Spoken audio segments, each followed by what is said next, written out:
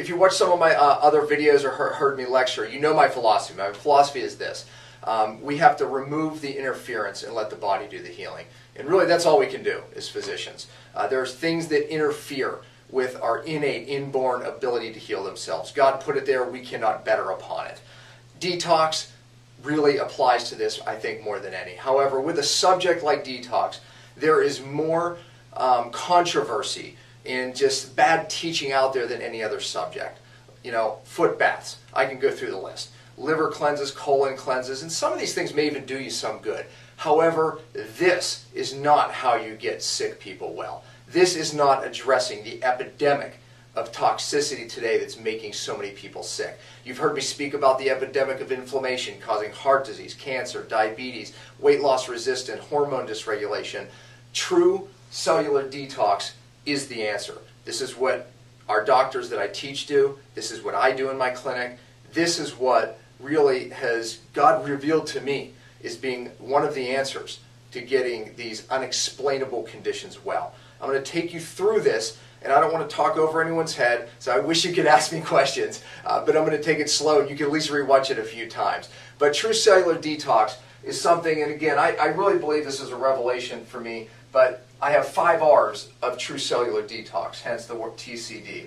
I used to have four R's, but I have decided to make it five because I was teaching this R within this R. So we're going to make that clear here today. But this is obviously a cell. Now, within a cell, you have to understand that there's two fat membranes called a lipid bilayer, layer, meaning two layers of fat that make up the cell membrane. This is really simply what I mean by true, cellular detox. What happens is, is toxins come in and they start attaching themselves. And some of these toxins are even bad man-made fats that I talk about in some of my lectures. Some of these toxins are things that we're introduced to every day, flame retardants, plastics, different things like that, heavy metals. Well, these toxins come in and they actually attach to the cell membrane, and they cause the membrane to inflame. Once the membrane gets in this state of inflammation, something happens um, called a decrease in cellular fluidity. Simply means that things can't get in the cell that you need to make vital things like energy, um, and things can't get out of the cell. Simple principle. In this room that I'm in right now, if we lit a fire and we didn't have ability to get the smoke out, we would die. Well, the same thing happens to your cell when you make this usable energy that your body needs for thinking, I mean, every process, this is the gasoline of your body. ATP. This is what you have to get glucose in the cell. There's a lot of different enzymes, vitamins, minerals that you need to make this energy so you feel good and can think and digest food, all the bodily functions that you know. Well, guess what? When the membrane is inflamed and you lose this cellular fluidity, now you can't get the good things in and you can't get the bad stuff out. See, because when you make ATP, you make waste, just like burning the fire in this room. And now it can't exit the cell. So the cell becomes what? It becomes toxic. It becomes a cesspool. So now you're trying to take all these vitamins and minerals and doing all these things, but really, guys, it's right here. It has to occur at the cell. So true detox has to occur at the cell. This is the key to getting sick people well. This is why most of you don't feel well you start losing cellular energy, and the only way really to reestablish it is fix the cell. And there's something else that you're going to learn about. There's something called glutathione that every cell in your body has to have. If your cell does not have glutathione, it dies. Plain and simple. Glutathione is how your body naturally gets rid of toxins at the cellular level. Glutathione is also your body's strongest antioxidant. So it's why vitamin C and E even work. So glutathione is critical. Once the cell becomes toxic, this major shield or defense, glutathione, drops. If you haven't seen the video on the product I created called CytoCleanse, watch the video. And I believe it's in this uh, under detox. But you know, I created a product that actually addresses the majority of these five R's. But one of the things that it does is it really raises this defense shield. And I always say that this is the key today. This is the multivitamin everybody needs to, to take because most Americans are glutathione deficient.